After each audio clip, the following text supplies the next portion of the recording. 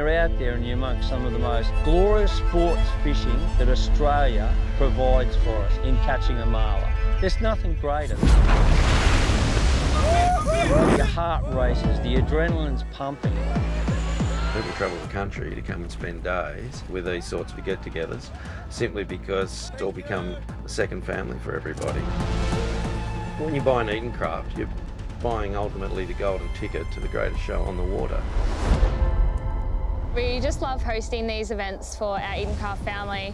We like to make it more of an experience than just buy a boat and see you later, because anyone can build a boat, but being able to build a boat and then become part of their life, like the boat is part of their family, they're part of our family, that's the main reason why we do it.